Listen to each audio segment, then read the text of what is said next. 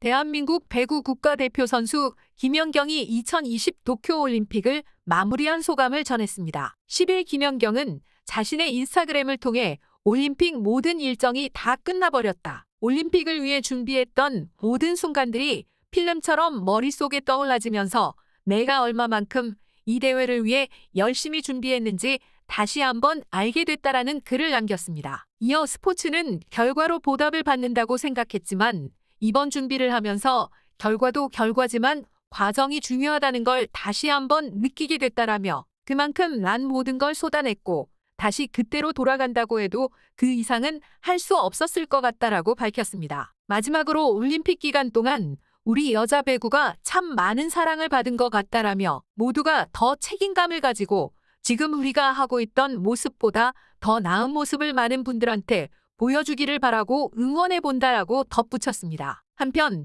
김연경이 소속된 여자 배구 국가대표팀은 2020 도쿄올림픽에서 4강 진출의 쾌거를 이뤘습니다.